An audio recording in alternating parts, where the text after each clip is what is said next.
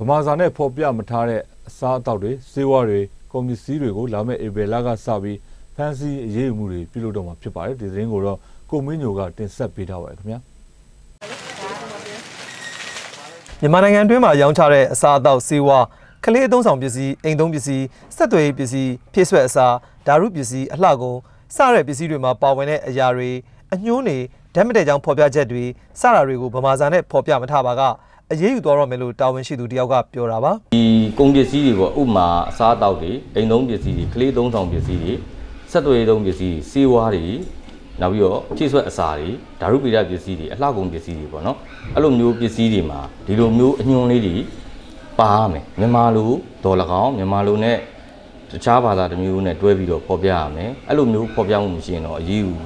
ဆောင်ရွက်မယ်ဆိုပြီးတော့ကျွန်တော်တို့ထုတ်ပြန်ထားတာရှိပါတယ်2019မှာဒါလေးတွေကိုကျွန်တော်တို့အဓိကထားပြီး လုပ်မှာဖြစ်ပါတယ်အခုလိုဗမာစာတန်းထိုးဖော်ပြရမယ်ဆိုတဲ့အမိန့်နဲ့ပတ်သက်ပြီးပြည်မြို့နယ်တွေကမုတ်လုပ်ငန်းရှင်တွေကသူတို့မသိကြတဲ့အတွက်အခက်အခဲတချို့ရှိတယ်လို့ပြောကြပါတယ်ကျွန်တော်တို့အတွက်ပြင်ဆင်ချိန်လေးပေါ့အဲ့ဒါပေါ့အခုဆိုရင်ကျွန်တော်တို့ကဒီဒီဒစိတ်တွေဆိုလို့ရှိရင်အများကြီးပဲလေရိုက်တာတာတိန်းကိုဆယ်ချီပြီးတော့လှုပ်ထားတာလေအဲ့ဒီဒစိတ်တွေမကုံသေးပဲနဲ့နောက်ထပ်တစ်ခုဒါတွေလောက်ရမယ်ဆိုလို့ရှိရင်ကျွန်တော်မှအရင်နီးကတက်တက်ဒါတွေကပုတ်သွားမယ်ပေါ့အလေးအလွတ်နေဖြစ်သွားတာပေါ့အဲ့လိုမျိုးပေါ့ဒါလေးတွေကုန်အောင် ဟိုကျွန်တော်ဟိုဗျာအခုဒါဘယ်လောက်ရှိလဲ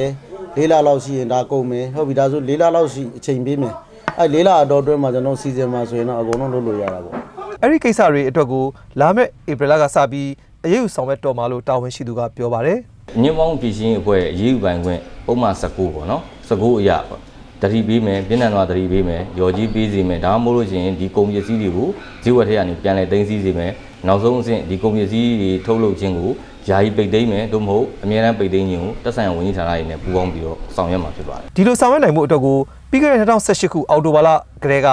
အမိန့်ထုတ်ပြန်ထားခဲ့တာဖြစ်ပြီးအဲ့ဒီအမိန့်အရလုပ်ငန်းရှင်တွေကိုအသိပေးတာတွေပညာပေးတာတွေပြုလုပ်ထားခဲ့ပြီးဖြစ်တယ်လို့စားသုံးသူရေးဦးစီးဌာနကပြောပါတယ်ကျွန်တော်မင်းညိုပါခင်ဗျာ